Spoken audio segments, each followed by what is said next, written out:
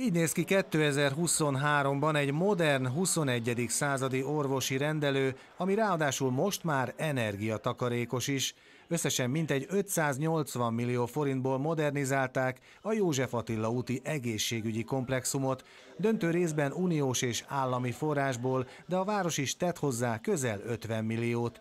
A körzet képviselője szerint a szabadhegyiek régi álma valósult meg. Tavaly augusztusban kezdődött az építkezés, nagyon jó ütemben haladt, december vége felé szerettük volna átadni az épületet, de különböző szakhatósági engedélyek nélkül sajnos nem sikerült, ezért mai napig csúszott az átadás. Top pályázat révén 530 millió forintos támogatáshoz jutottunk, amihez az önkormányzat közel 50-60 millió forint önrészt biztosított, és még egyszer polgármesternek szeretném köszön, köszönetet mondani, hogy ezt megkaptuk. Szabadhegyen és Kismegyeren mintegy 15 ezer ember él, az ő orvosi ellátásukat biztosítja a felújított rendelő.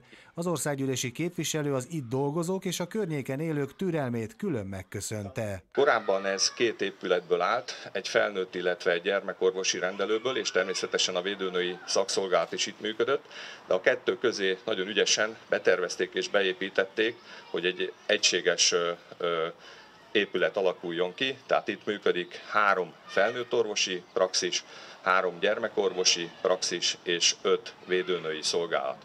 Tudni kell azt is, hogy egyébként Szabadhegyen, a Jereváni úton van még egy másik felnőtt orvosi rendelő is.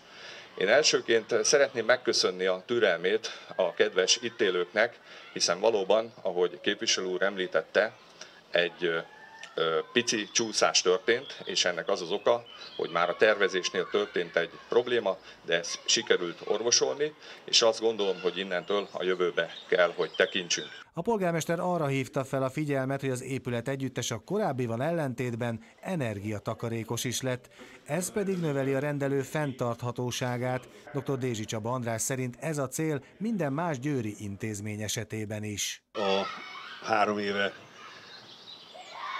felállt városvezetésnek van még egy nagyon-nagyon fontos olyan újszerű gondolata, hogy olyan rendelőket kell építeni, olyan beruházásokat kell végezni, amik energetikailag nem zabálják fel az energiát, ezáltal nem zabálják fel a költségvetési forrásokat. Ahogy elmondta képviselő úr is, ez egy olyan fűtési rendszerrel van megoldva a rendelő és a rendelők és a védőnői hálózatnak a munkahelyiségei, amik energiatakarékos megoldások. Emellett a hőszigetelés is energiatakarékos megoldás, tehát gyakorlatilag azt lehet mondani, hogy rendelő nem csak külcsimben újult meg, hanem egyáltalán gondolkodásmódban volt egy óriási változás az elmúlt három évben a városban. A hivatalosan most átadott épületbe fokozatosan költözhetnek majd vissza az orvosok és a védőnők. Július 1-től azonban már minden beteget itt látnak el a szakemberek, ahol korábban is, csak ahogy a képeken is jól látszik, egészen más körülmények között.